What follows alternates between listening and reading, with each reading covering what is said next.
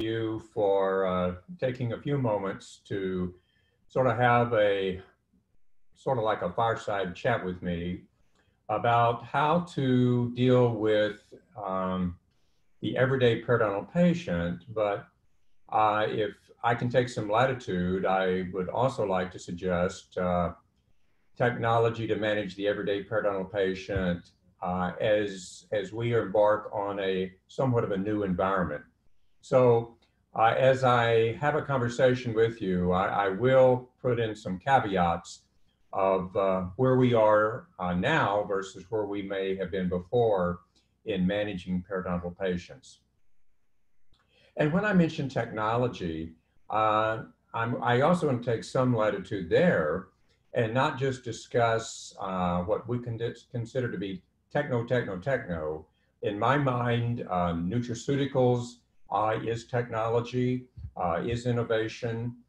And uh, please appreciate that as we have these conversations, uh, pretty well almost everything I suggest to you, uh, it's just the periodontist in me, uh, will be backed up with, with science. we periodontists do not do well with just anecdotal. In fact, we are the world's worst uh, when it comes to adopting. Uh, we want to know about research. We want to know what animals and etc. So uh, I think you can feel fairly confident uh, that when I do have some uh, arenas that we move into, that for the most part, I pretty well have taken a look at everything. Uh, also, by the way, and it's just also my nature as an educator, uh, as you see the, the title and you, you see my email, uh, every slide that I am going to show you tonight, I'll be more than happy uh, to send to you uh, on a PDF file in color. It will be a drop, uh, Dropbox link. You do not have to have Dropbox to be able to do that. And, but I will send it to you in the next 24 to 48 hours. Uh, and so, uh, but because it is critical, you know, I, I'm a pragmatic, pragmatic individual. Uh, you and I could have an esoteric conversation if you, if you want that. But I like, I like take home things. I, I like pearls. Uh, I like to know what I can do uh, tomorrow with my patients to make a difference. Um, if you've ever heard me have conversations before, I'm very much into mission. I'm a Stephen Covey person. And in my mind, in a dental practice, no matter where you are in the world, in my mind, there are three things, if you're a practitioner, that becomes very important to you. One, the quality of care. Two, that you're content and happy doing it, both mentally and physically. And three, we've got to be financially responsible. I don't believe that's mercenary. I, I, I believe that many of you on this call are in a small business. Uh, some of you are concerned about the future of your small business in dentistry more than any time in your career. So it's not about us making more money so that we can go out and buy ourselves something. It's about us being uh, financially aware of what it's going to take to be able to start back and be able to see a good return on our investments and the fact that number one, we're getting the quality of care that we need. So what we will experience today is, is four things. Uh, creating a realistic uh, non-surgical therapies and surgical therapies, uh, looking at new anti-inflammatory systems from nutraceuticals to probiotics, possibly looking at air delivery medicaments, uh, determining the efficacy of different kinds of laser wavelengths. And yes, I will pepper this entire conversation we have with laser. Uh, I've been in the laser game since 2008. Uh, I am not an innovator, I'm not an early adopter, uh, but I absolutely believe that as we pursue this, that a laser will be the standard of care in managing most periodontal disease. Uh, we will review current techno of what to do in the bathroom. What I mean by that is what patients are going to do, uh, do, you know, for their oral hygiene. And then, if you don't mind, I love patient scripting. I've done my share of in office periodontal consulting. And I always believe that we should have scripting, we shouldn't be doing ad lib, and everyone should be saying the same thing as we pursue this. Now, as every speaker should do, um, there are, uh, I have conflict of interest. Um, you know, so I have a declaration of things that if I speak to you about, you know that maybe if it's Philips, uh, I got a free toothbrush from Philips. Uh, VoiceWorks uh, with Florida Probe, I helped start that uh, company and it's very viable right now. Uh, uh, Hu-Friedy, Probiora, and, and naturally Biolase. So th those are my, my declared conflict of interest with you as we pursue that. Uh, it's not that I'll ignore those, but I'll put them in perspective so that we'll look at all products, if that's okay with you. Now, I've always had three axioms of success when it comes to looking at how to be successful in managing the periodontal patient. Yes, they're a little facetious, but mm, maybe during this time, a little levity is probably not a bad thing. So if I wanted to be successful in managing periodontal, and I must tell you that, and this is why I gave you my um, my email at the very beginning, uh, because I get call, I get calls, emails, and I'm trying to write as fast as I can. Uh, and I know some of you, you see Sam's axioms for successful periodontal therapy. You say, my goodness, that must be really important. Well, hang on. If I wanted to be successful in periodontal therapy, I'd move every three to five years. I like that one. Out of sight, out of mind. If I placed implants, I'd move every one to three years. We'll talk about that a little bit more. Now, I'm a periodontist. I know out there there's some dedicated dentists that love to do perio, or you wouldn't be on this thing. I also know that there's quite a few hygienists. My hat is off to you. So when we talk about dedication to perio, I think you'll love the next one. Just take out the molars. In fact, if it were me, I'd take out the maxillary molars first. If I had any time left, I'd take out the mandibular molars. What did I have left? I'd take out uh, those maxillary first premolars. But with that, I'm being facetious, but I'm also being serious.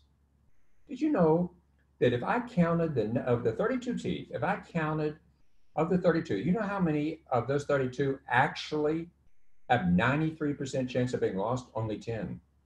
Only 10 teeth. And the reason for that is, hmm, I know you don't want to hear it, but it's called furca. Furcation, furcation, furcation, furcation, furcation. So as I talk about technology, whether it be the patient or whether it be you, you've got to find a way to get into those concavities. Because my friends, if you do not disrupt that biofilm, then there's no use you waking up in the morning to manage periodontal patients. I hope I'm being about as candid as I can be. I need you to stop scraping on those roots. I need you to start you stop using snake oil. We need to blend what you know from experiential with science. So my last one is, I know hygienists would love this. Just extract every other tooth because you'd have incredible access if you did that. So I was in London doing a program, and you know, I looked at, I saw this van, and I said, "My goodness, what more could you want?" Till I talked to the driver and found out that this is a van that removes gum from the floors of museums. Well, wouldn't this be wonderful if you had this driving around, especially now, you know, because there you would go to their homes instead of them coming to you. So you want to talk about takeout pizza during this time? Well, here you can have takeout perio. So therefore, I love my mythology. And in mythology, periodontal disease is not caused by bacteria. It's not an infection. It's a chronic inflammatory disease. Periodontitis does not get worse over time. It only gets worse if the host lets it. Flossing, you gotta be kidding me. There's not any science, any meta-analysis any systematic studies that demonstrate that flossing is advantageous for a periodontal patient. I didn't say we weren't going to use something, but it's not going to be floss. Root planing, you may have heard me say this before. What are you trying to do? Find the pulp before the patient dies? Root planing is over. Scaling is over, especially now. We'll talk about that. Biologic width? Nuh-uh, it's not self-limiting. And can we maintain five millimeter pockets? I hope we can, because I got a lot of them in my patients. The probably most growth center in dentistry right now is periodontics. Is periodontics. And if you look at the CDC, I'm not talking about mild periodontitis early, I'm talking about moderate periodontitis. And so whether you be a periodontist, a dentist, or a hygienist, I'm going to take you through all three on how, if you're a dental hygienist, how you can manage early. If you're a dentist, how you can manage moderate. And I don't mean non-surgical. And if you are a periodontist, how you can manage that 10% in a minimally invasive way to be able to save teeth. And that is really what the bottom line is. So as we look at this, there's no doubt that we've got to sell perio. And my friends, it's not easy to do. I've been a periodontist for 35 plus years. So you can talk about spread of infection. You could talk about loss of teeth. Uh, you could talk about uh, periodontal surgery. Uh, you could talk about floss or die. But you've got to create environments by which patients relate to, and they, you're going to get a positive case acceptance. So for my international friends, forget about uh, number two with the codes. But no matter where you are, you've got to be looking at these four things. What's your percent of gross from dental hygiene? What's your percent of dental hygiene or perio codes? What percent of your examinations should be perio, new patient exams? And what is your cancellation no-show rate?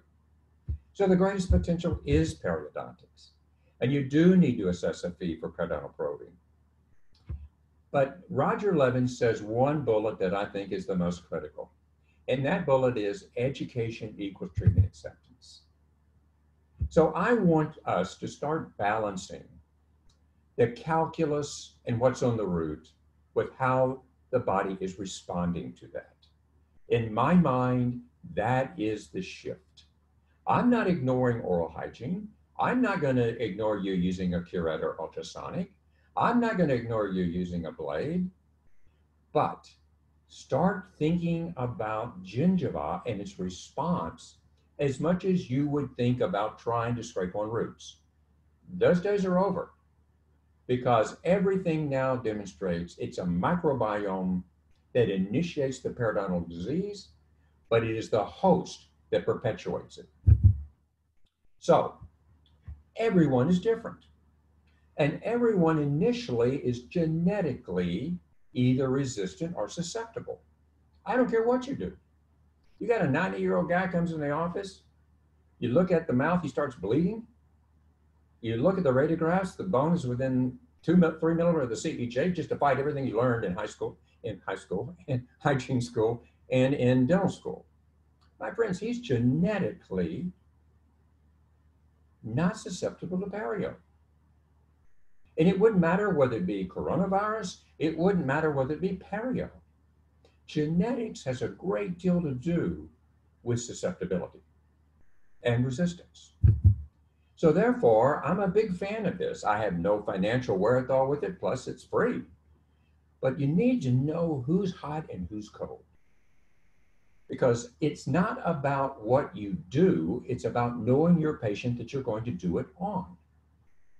So therefore, uh, PreViser is fantastic. I mean, it's an online uh, to where you can put your patient's data in, probably takes a minute or two. So I'd ask you to, to do a demo on, on PreViser because it's a great risk assessment for perio, uh, for caries, and, and also for uh, oral oncology. It's excellent, highly, highly recommended.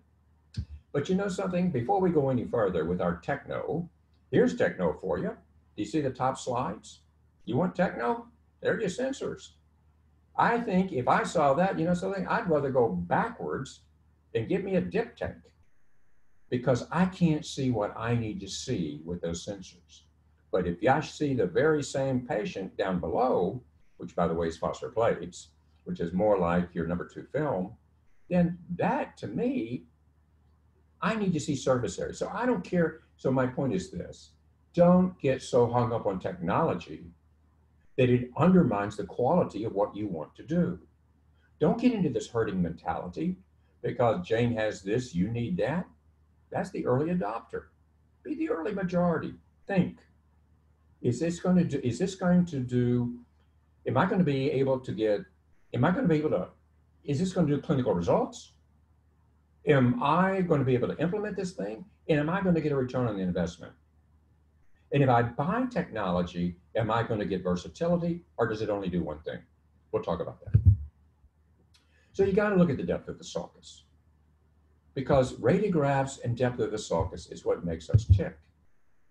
So when you look at these kinds of things relative to a new or established patients and things of this nature, um, and this is one of my conflict of interests. You know, one of the reasons uh, our team created VoiceWorks is because we knew you didn't like charting. So what if you, uh, what if a dental hygienist had this little microphone with a little elf on their shoulders and everything they said within reason appeared on the chart? That's what I would want. No dental assistant coming in, no moving over to hit the keyboard, everything, and that chart looking like this. That is what even third parties like. Black is good, red is bad, implants, things of this nature. You sell perio off these charts. So therefore, also, we need to supply those dental hygienists out there with technology too. And when I say technology too, I also mean looking at such things as um, the, the, utilization of loupes and light. Uh, we need to move beyond just using the overhead light every time we turn around. And so therefore, I have nothing to do with this company. There's several companies. Um, that are out there. Uh, but when you're going to get loupes, if you're a hygienist, don't get 5x loupes. What are you trying to find? An enamel rod? No, what you want to do is get wide angle lenses, two and a half X, with a light. Lights are critical. I don't need you moving that light. Plus, right now, I doubt you're going to be able to move the light because of infection control. So, and by the way, they do make face shields with a little hole where the light goes through uh, if you start looking through for various companies that are out there. So, when it really comes down to it, there are four buckets of patients. Uh, there's the gingivitis patient, there's the early periodontitis patient, there's a moderate periodontitis patient, severe periodontitis patient, now, you probably saw that earlier, I said early periodontitis was like 10%, and that's probably more. Depends on who you take a look at. I trust the CDC, which actually says 47.2% of patients have periodontitis, about 10% are early, uh, meaning about uh, 30 are in that moderate periodontitis range and severe taking out the rest. So this is the periodontist in me, also being a card-carrying member of the American Academy of Perio yes, we do have a new classification system. Um, depending on who you talk to, it's not the easiest thing to adapt to. Um, but having said that, if I look at the classification system, one of the very positive things about it is, is that it did introduce not only the patient relative to their diagnosis, but also introduce something called grading, which is what we call risk assessment. So it's a great system.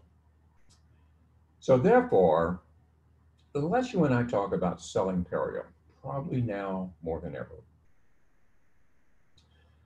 If you look at comorbidities of coronavirus, I'm sure all of you are aware that when you look at hypertension, cardiovascular disease, diabetes, respiratory diseases, obesity, that that environmental aspect already on top of a genetic scenario is, is really creates validity on where what we're looking at and who's susceptible and who's resistant.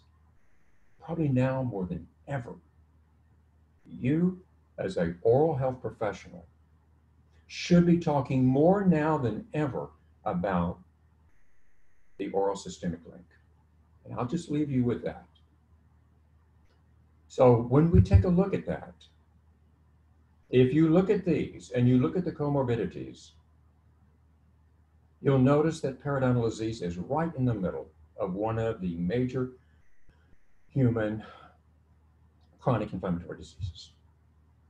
And in fact, the World Health Organization puts periodontal disease as the sixth most prevalent chronic inflammatory disease that exists. So therefore, you may think that's a little bleeding pocket. If you look over on the right, it's a portal of entry.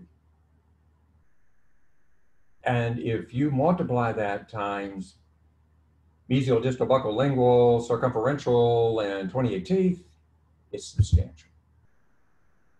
So now let's start to look at some techno stuff.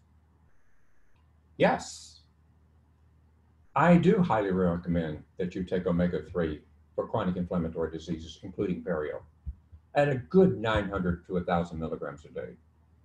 And fish oil is still the best. Yes, I do believe that you need to be taking aspirin at probably 81 milligrams a day. It Has nothing to do with vascularity, but has to do basically with anti-inflammatory. We'll talk a little bit about probiotics. We'll talk a little bit about topical antioxidants.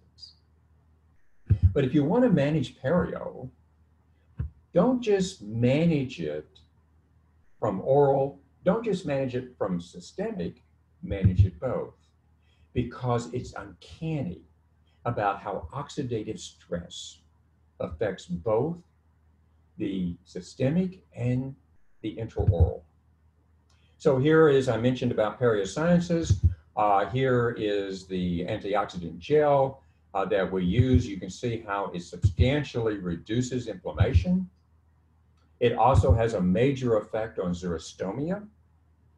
And you say, well, why can, how can a gel that has anti-inflammatories plus uh, methylthymol and um, azatitol, how can it affect xerostomia? because we now know that xerostomia is inflammation of the minor salivary glands, not the majors. The majors are affected by radiation, but all those meds that we're now taking, about 2,300 different categories, those meds are what is affecting xerostomia, especially patients on anti-anxiety, antidepressants, and some hypertensive medications. So if you want to know more about Sciences, uh, just Google it and you'll find it. So we're in the direction now of closing the gap in what we call oral healthcare products. I'm suggesting that you need to be considered to be almost like a retail center. Again, I uh, have done some work in the past with uh, this probiotic. I enjoy it. Part of it because it was actually discovered at the University of Florida, which is uh, where I reside. Uh, but this is based, this is an oral probiotic and it has science behind it. There are others out there. But probiotics, oral probiotics may become probably the most important in oral hygiene. First of all, you get higher compliance. Tablet, mint, put on your tongue, suck on it, swallow, and it runs out all the bad bacteria not only caries, but also perio. And there are some studies on even on Porphyromonas gingivalis. So this thing goes into the sulcus. Uh, this thing can actually attach on the root, uh, on root surfaces and on the tissue itself. So you may want to investigate the area of utilizing a, a oral probiotic today. And by the way, some of these probiotics actually exhibit hydrogen peroxide some of the organisms in these viable organisms, whether freeze dried and then they become active when they're in the mouth, and actually whiten the teeth. So, I feel for you out there. Managing perio is not the easiest thing in the world. Why? Patients don't want it. Uh, secondly, not easy to implement. So you got to sell it. And my thing about selling is always Jane, today you have the irreversible loss of your jawbone. I didn't talk about losing teeth. I didn't talk about dying. You have the irreversible loss of your jawbone. And when you do that, then you can plug them into this decision tree. I'm indebted to the American Dental Association for creating this. Let me remind you, I will send all this to you on a PDF file. So when it comes to oral hygiene instruction, let's do some techno. Friends, you didn't get up this morning and make a phone call with a rotary phone or a push button phone. I think you picked up an Android or an iPhone. Manual brushes, it's over. You got to have electric. You got to have power. You get an 81% higher compliance when you use electric.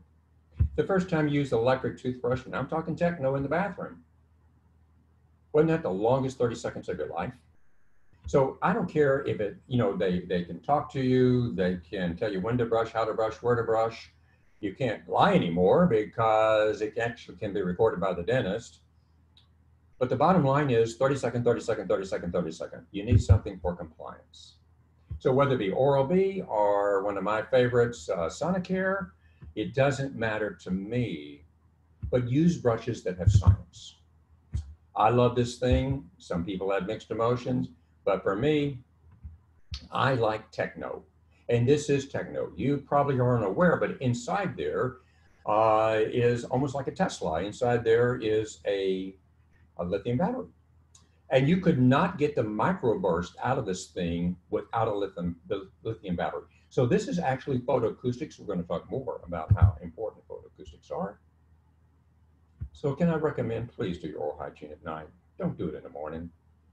You can brush and floss, do whatever you want, but at night you're mine. You got to do your oral hygiene at night. There's so many reasons why you get microbiome buildup, biofilm buildup at night. Your mouth is closed there's no saliva, so forth. Manna from heaven, wow.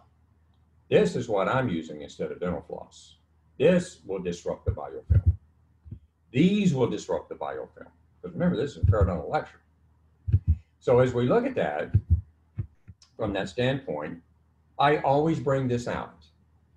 Uh, this slide was made in like 1961 by a periodontal instructor at University of Washington it shows you that floss is never going to get into those furca, furca, furca, furca, furca, furca that we discussed.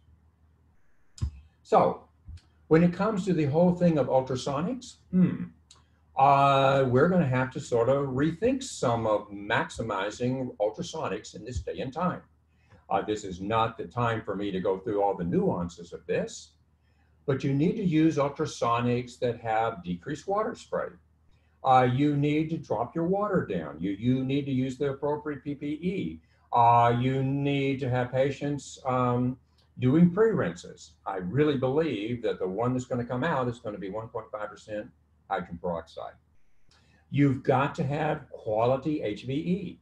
You've got to have high evacuation going on here. So with that, we probably will see the blend of more and more of what we consider to be manual re-instrumentation.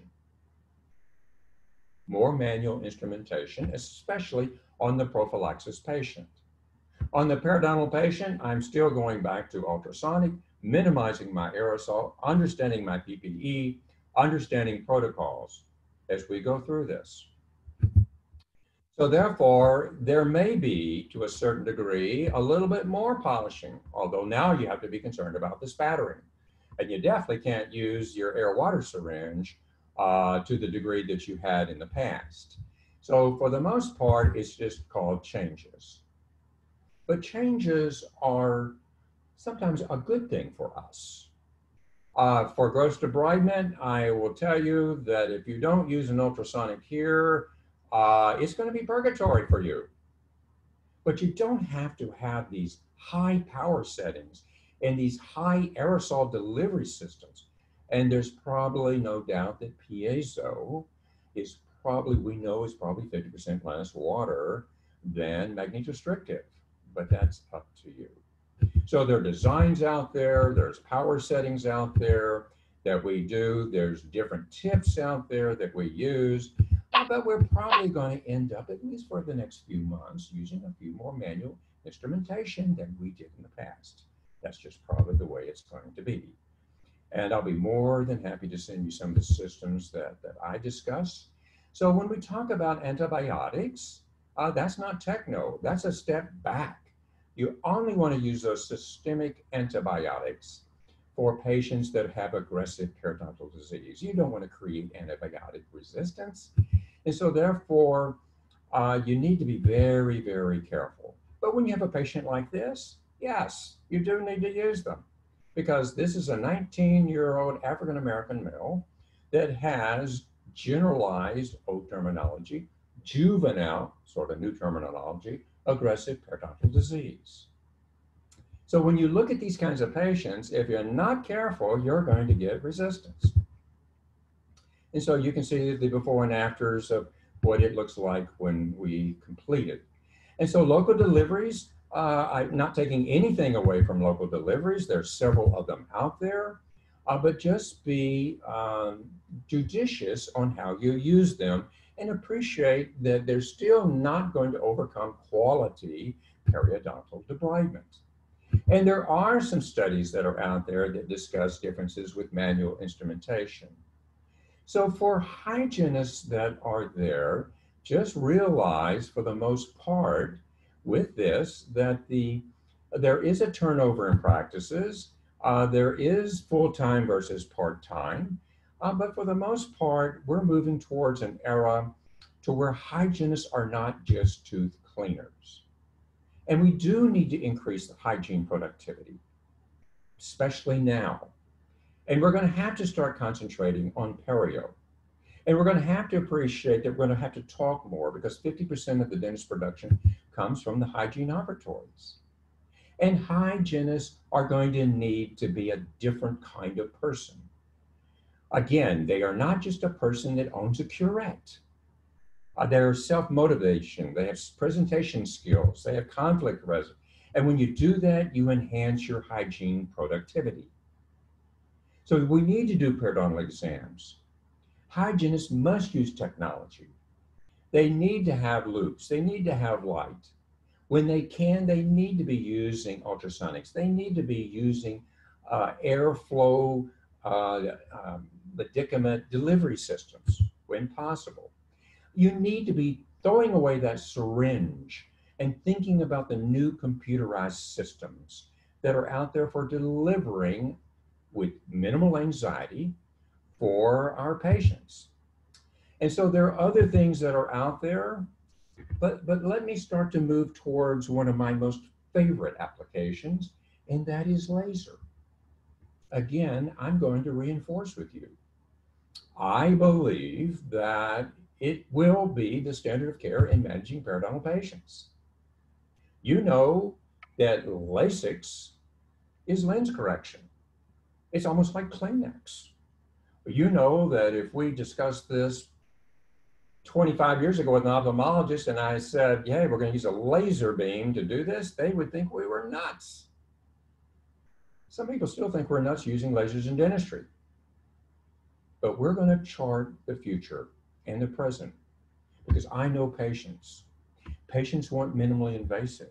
Patients want to wake up the next day and feel fantastic. Patients want to feel fantastic as they're leaving your office. Patients do not want discomfort. Patients want patients want things that they have confidence in, that they know that you have confidence in, and can do the job with you. Sorry, but many patients don't want to go somewhere else to have something done. They want you. They have confidence in you. Lasers are now starting to be within reason of cost.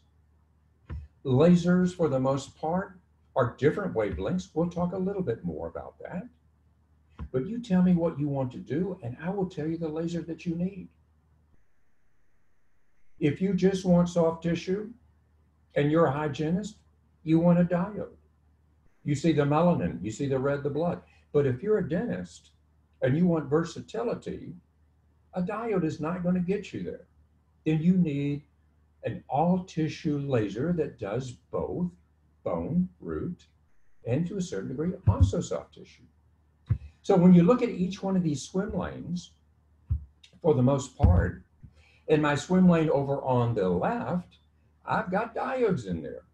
But for you dentists out there that want to do surgical, minimally invasive periodontitis, then you want to be in the middle swim lane.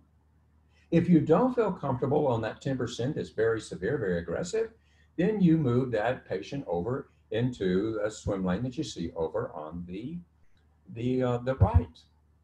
And there are many of them out there. And they do many, many different things.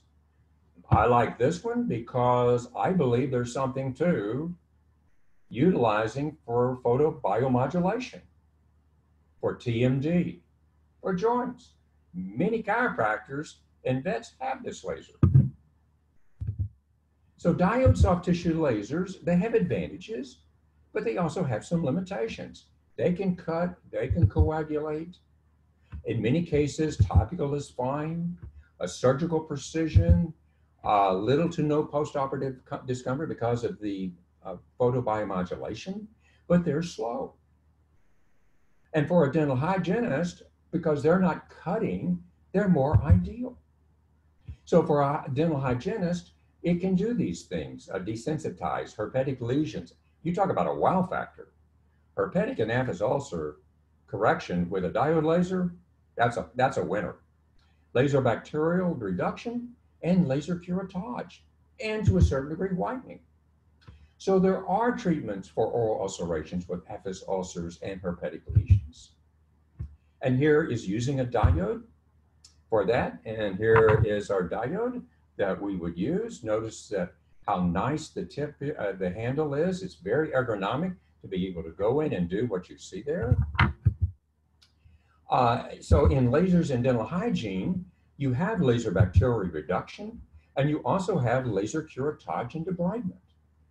If you are in an area that is regulated to allow a dental hygienist to use a laser, my friends, you if you don't have a laser, uh, at least a diode laser, you're missing the boat. Because these two procedures are very valid in what we do in perio. So therefore, there is procedures for laser bacterial reduction. The laser energy is able to go in and be able to have an effect on the microflora. And a 980 wavelength is an ideal wavelength for that. And such things as like the Epic Hygiene with BioLase has that kind of wavelength that is there. So, by the way, I will tell you that I'm moving a little forward and I'm now putting hydrogen peroxide in the sulcus before I do laser bacteria reduction. And I'm indebted to Dr. Odor, a fantastic Romanian periodontist who did great studies on this. And if you email me, I can provide more information for you. So we do have laser assisted periodontal therapy. This is one of my favorites. I thought we should never have taken curettage out of dentistry. To me, it was a mistake from the beginning because curettage is an anti-inflammatory. And so for me, I love curettage with a laser, whether it be an all tissue laser or whether it be a uh, diode laser.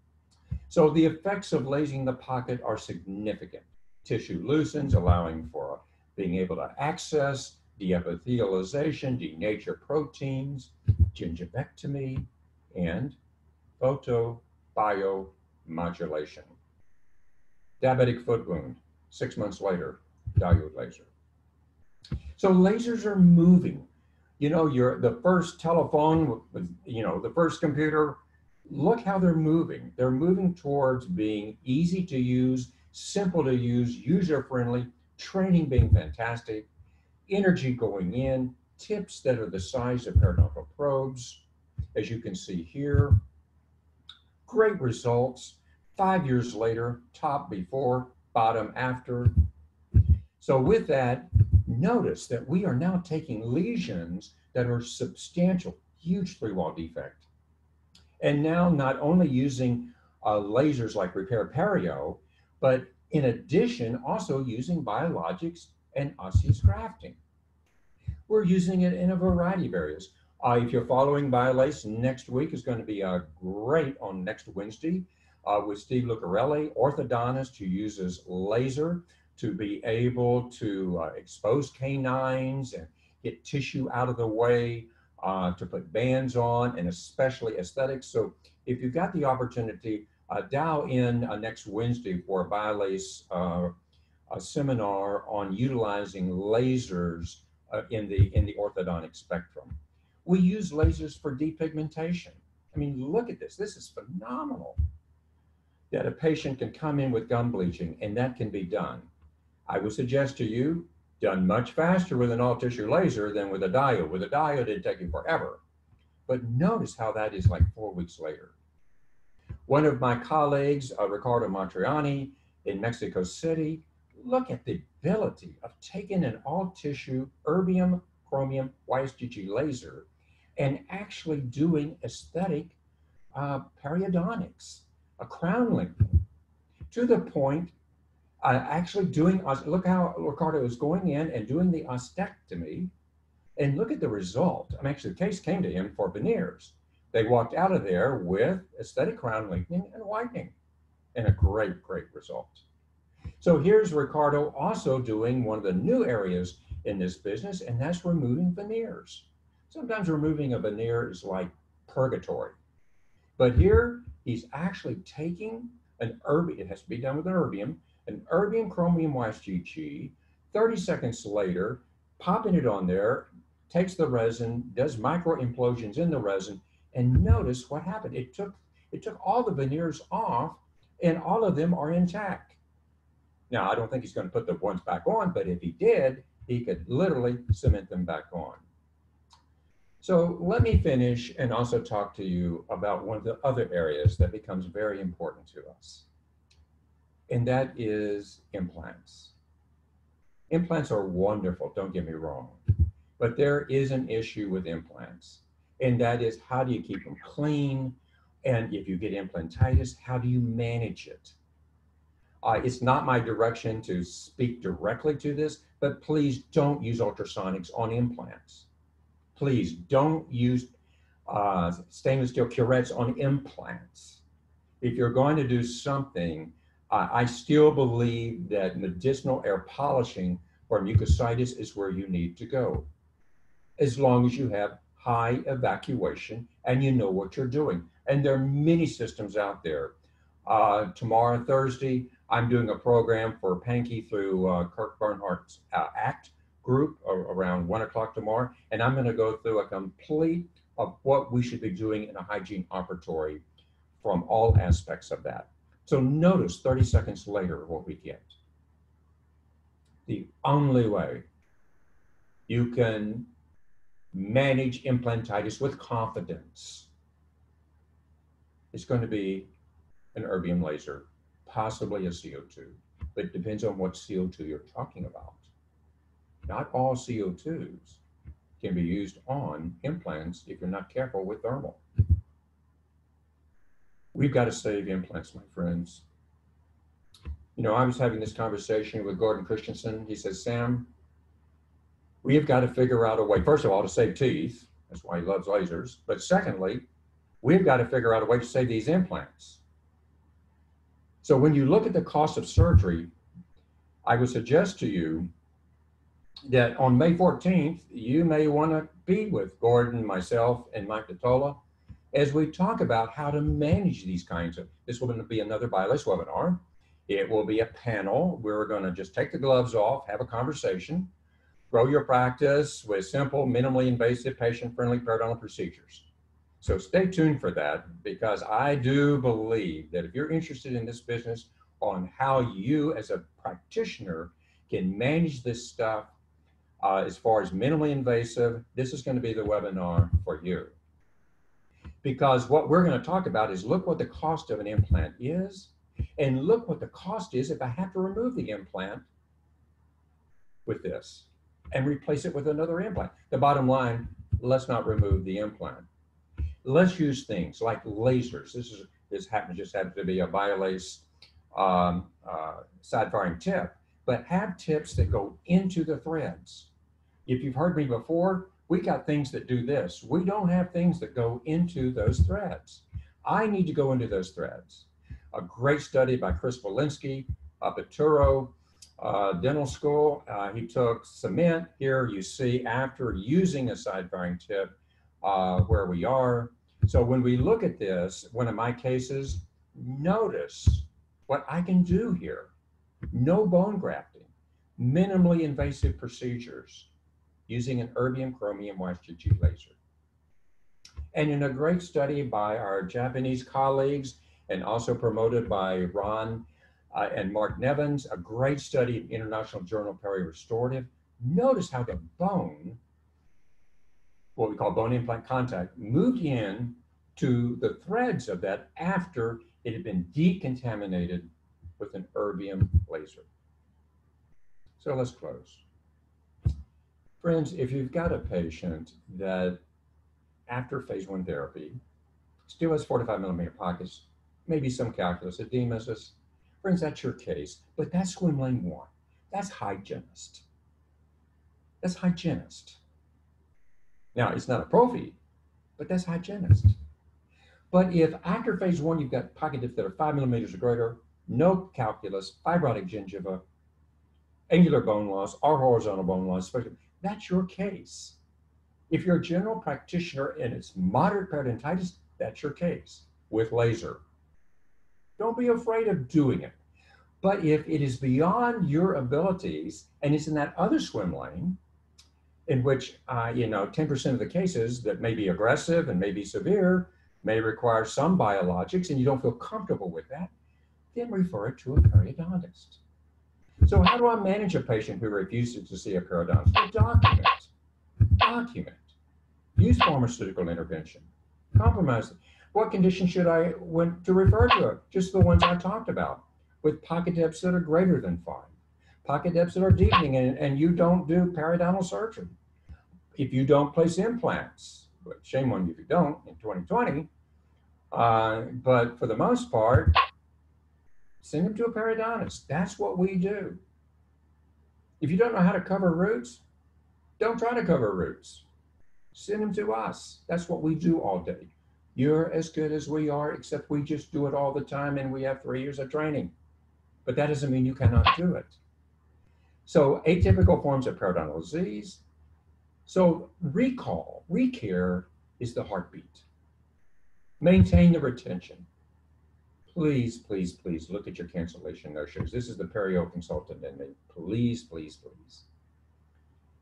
You may need to expand your hours moving forward. I have a whole litany of what we're going to need to be doing that I'll talk with some of our. And by the way, uh, just to let you know, Friday we will be doing something called Ask the Expert, in which we're again we're going to take their gloves off, and myself and at least one other periodontist, we're going to we're going to listen to your questions. You're going to be able to call in and talk to us about what you want, or use the chat room, and we're going to get down and dirty and talk about you and what you need to be doing, and, and especially listening to your issues on where we need to be going with this.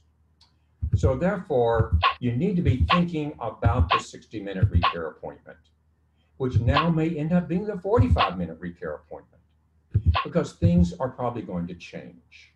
You need to be thinking about how we really get attachment.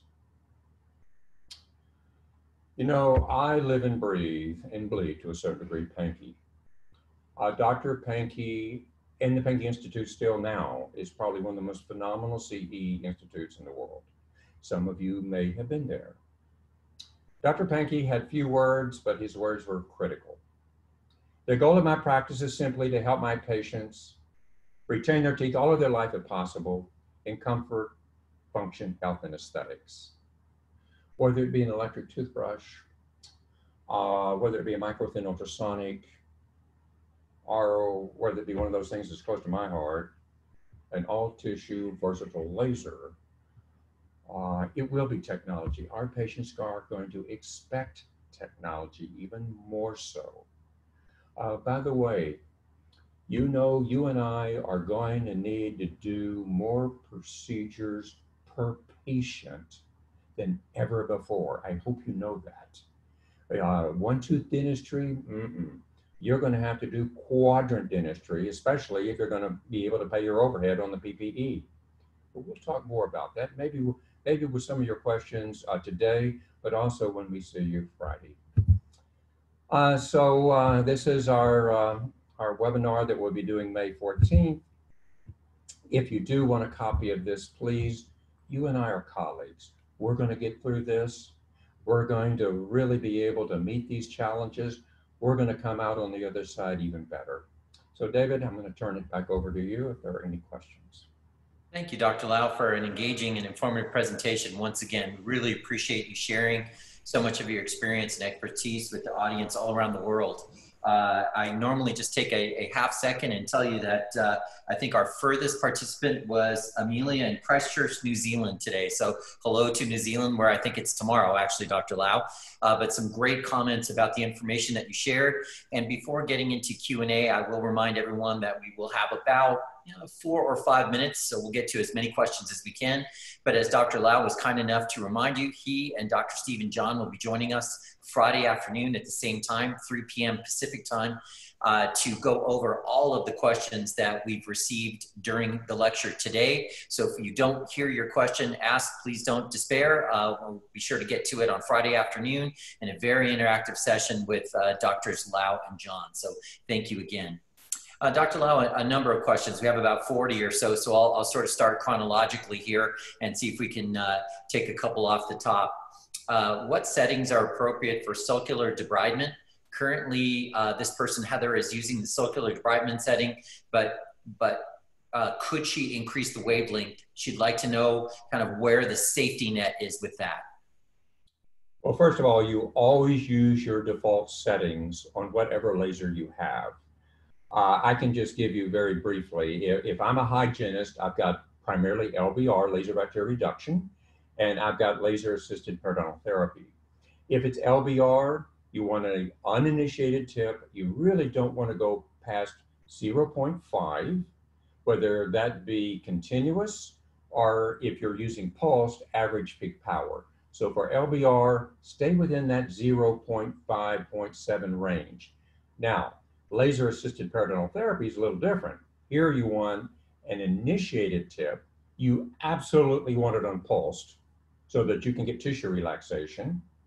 And for that, yeah, there you can be in that like that 0.8 to 1 watt. But I would not go further than that because when you start going further than that, you may end up getting carbonization, you may end up getting charring, and you may have an adverse effect on the root please appreciate that for the curettage we're talking about, we rarely ever go over 0.8 to 1 watt pulsed with an initiated tip. Okay. Excellent. Thank you, doctor. Uh, the next one is uh, from Rocio. And do you recommend, Dr. Lau, chlorhexidine irrigation during scaling and root planing? Uh, second part of the question, also oral DNA before SRP. Uh, first of all, about the chlorhexidine. Uh, we are actually determining uh, that now if you have any secondary wound, including extraction or curettage, you really don't want to use chlorhexidine because it's cytotoxic.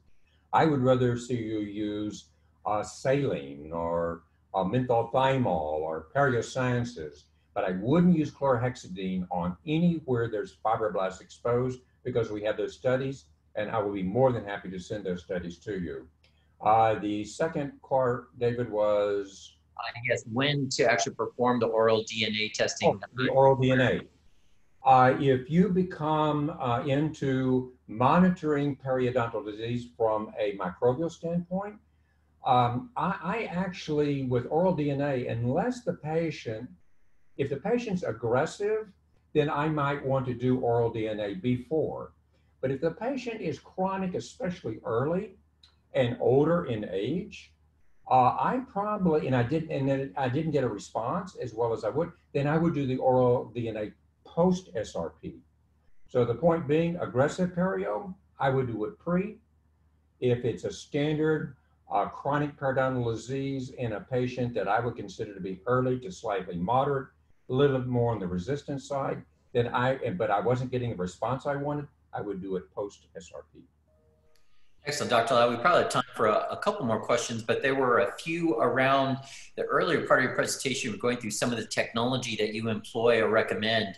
Uh, so a few about Waterpik versus air floss, and then perhaps the use of those two. Do you have a recommendation, one versus the other? And then the, uh, the, the more specific question was, is are they safe or is it safe to use in a sulcus around an implant? Perfect. I always believe in mechanical medicinal. Mechanical with soft pick or proxy brush and toothbrush, followed by it doesn't really matter to me, whether it be Waterpik or whether it be um, air floss. But the critical part of it is put a medicament in whatever you use. That is more important than anything. And what was the second one? Uh, sure. Is it safe to use the sulcus around an implant? Absolutely. Thank you. It's safe to use an sulcus around an implant, but you cannot put it directly into the sulcus. And please do not turn these water irrigation devices over one third to one half. Because remember, a, a, a sulcus in an implant, there, there's a little bit of a junctional epithelium, but there's no connective tissue attachment. So just be careful. I'm not, I'm just saying use it at a 90 degree angle and turn your power down when it's around an implant. You probably should be doing that around teeth too, natural teeth too. Uh, doctor, we'll close on a question that's come in a couple different ways, but before we get to that, this is very quick, I believe. You were talking about the probiotic that you prefer, and the, the question is about the, the name or the brand of that probiotic again. Yeah, it is, it's Probiora. Uh, it's at Probiora Health. So if you just, you know, like everything else, you Google Probiora, uh, you'll get, uh, um, you know, you'll get to the website uh, it's a sim simple mint. It's got three uh, healthy uh, streps in it that literally the science demonstrates it runs all out the, um, the periodontal pathogens and also the strep mutans lactobacillus. Excellent. And doctor, this is uh, very open-ended. I don't think there's a specific answer to it, but uh, several of our attendees are in states where laser usage is restricted, especially within the hygiene chair. And the, you know, the question or the ask, if I can say it differently, is, you know, are you aware of, you know, new efforts around that, particularly like in Florida where you reside or in New Jersey where it's a bit gray? You know, what are you aware of in terms of maybe changing minds and, and the effort to get uh, lasers uh, a more uh, accepted part of the armamentarium? Yes, and uh, you're right, David. It's quite open-ended. Actually, it's a um, it's highly political, uh, but uh, I would I would suggest to you that it's kind of like local anesthesia, uh, where we thought local anesthesia was going to kill people, till we found out that there's about 40, 47 states now that have it. Uh, if you if you if I were to suggest about a state uh, lasers are not going to have an adverse effect in the hands of hygienists if they're certified. It's all about certification. And my hat goes off to my home state, uh, which is Texas, which has created great uh, regulatory with the Texas State Dental Board around dental lasers for hygienists with 12 hour certification courses. Uh, there's not been adverse events in those states. Um, but it really does make such a difference in being able to manage patients, especially those patients that are not going to have periodontal surgery or not see a periodontist. Um, again, it's politically charged, uh, but I, I, would just suggest that, that there is information out there. You know, we have probably now about 20 plus states that absolutely allow hygienists to use it and a good 15 to 20 more uh, that say you can use whatever you want if it's in the Practice Act. In other words, if in your Practice Act it doesn't say curettage, well, then you're not going to be able to do curettage. Uh, but I do believe, just like we did with local anesthesia, we need to take a really fresh look at this and not be fear based in our decisions moving forward.